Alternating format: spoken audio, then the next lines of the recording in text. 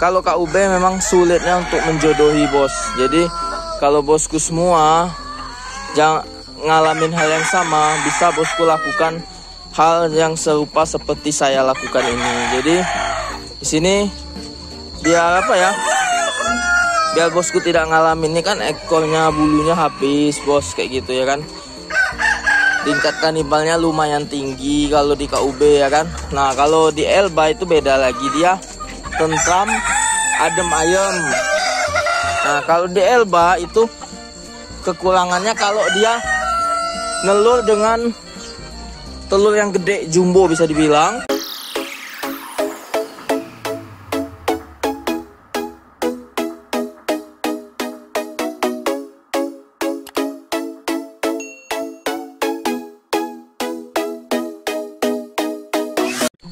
Oke, baiklah bosku semuanya kembali lagi bersama saya di channel peternakan di Donva. Video kali ini ayam saya usianya di umur 260 hari. Jadi di usia 260 hari ini saya ingin sedikit ini ya berbagi cerita lagi. Karena di usia 260 hari ini kita lepasin ayam KUB sebanyak 4 box. Itu dikarenakan kita ingin cari ininya lagi bos, pasangannya ya. Jadi kita akan mencari pasangannya. Jadi di sini satu, dua, tiga, dan empat.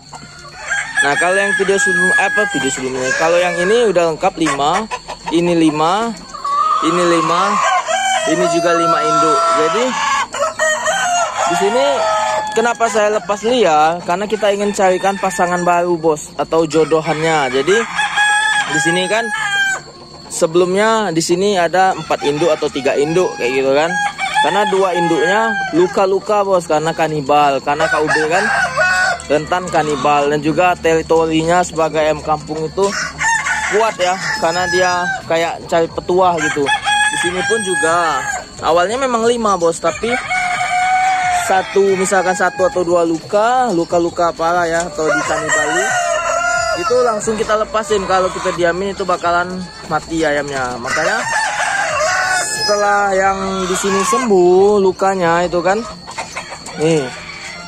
Ini ada yang kepalanya bolong ya kan? Nah setelah nanti lukanya sembuh bulunya udah normal itu kalau kita gabungin lagi misal yang luka itu walaupun temen akrabnya ya ini awalnya temen akrab dia dalam satu kandang tapi setelah sehat kemarin itu saya gabungin lagi bos. Alhasil kejadian lagi dihajar lagi sama temennya. Padahal itu udah temen akrabnya kayak gitu ya kan. Makanya kalau udah waktunya udah sehat, maaf dia udah luka-lukanya udah kering, udah sembuh tumbuh bulu udah ini, baru kita akan lepasin ayamnya bos. Jadi di sini saya lepasin semuanya ya jantannya juga satu saya lepasin bos. Itu.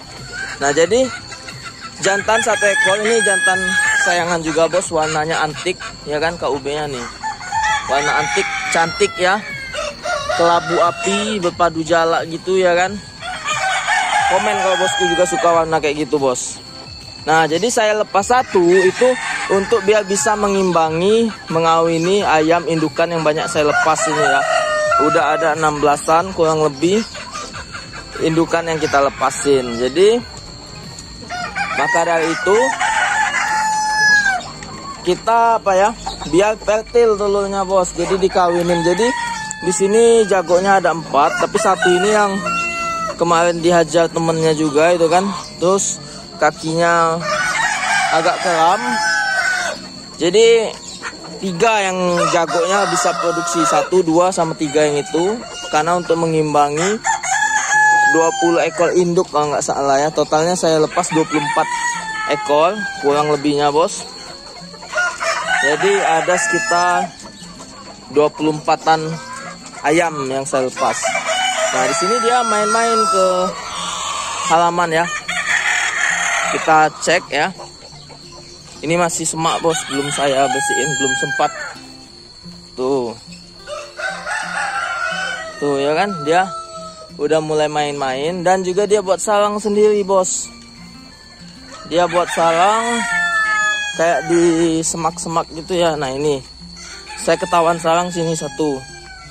Oh udah ada telurnya. Nih dia buat sendiri tuh. Sarangnya. Udah ada saya bahas di video shot juga. Dia karena telurnya dia buat sarang dan juga ada di gudang dia buat apa dia bertelur di sana bos.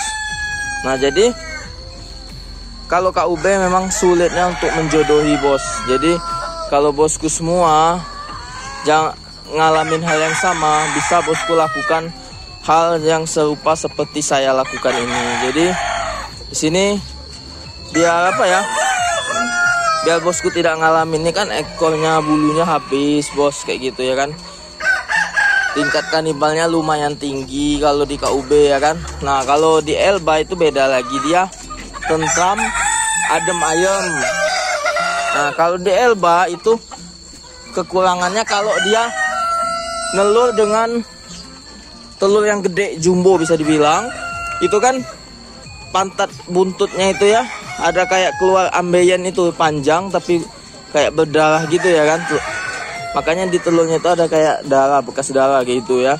Nah, itu yang panjang keluar dari pantat itu yang menarik si ayam lain untuk mencotok dipatokin ya. Jadi dipatokin secara tidak langsung bisa mengakibatkan kematian. Jadi kalau si Elba masih bisa kita tanggulangi bos. Dalam arti kita bisa perhatikan kalau ada telur yang kita pantau ya sehari itu berapa kali. Kalau ada telur yang keluar dalam kondisi luka kita cek. Lihat aja gitu. Kita lihat secara langsung bagian pantatnya ya. Kalau basah itu kan kita perhatikan atau ada yang luka. Kalau biasa kering kayak gini itu aman bos. Jadi kayak gitu ya. Nah jadi di sini ya bisa bosku ikutin juga ya. Yang saya lakukan bisa juga kalau bosku ya gimana ya. Menurut bosku ini hal biasa ya jangan dilakukan. Jadi ini saya hanya pure sharing untuk bosku semuanya. Ini juga salah satu warna kesukaan saya bos. Galaknya. Tuh. Kalau ini full black. Oke jadi di sini dia nanti kalau udah akur kita gabungin di sini di sini sini dan juga di situ. Oke jadi saya tutup dulu bosku.